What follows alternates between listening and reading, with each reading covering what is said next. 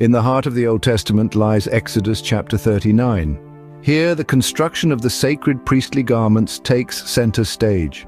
Crafted with precision, the ephod, a richly embroidered garment, is made from gold, blue, purple and scarlet yarns. A skillful craftsman weaves the breastplate, studded with twelve precious stones, each representing a tribe of Israel. Golden bells and pomegranates border the hem of the robe, their chime to be heard when the priest enters the holy place. The turban, the crown of the outfit, bears the golden plate inscribed, Holy to the Lord.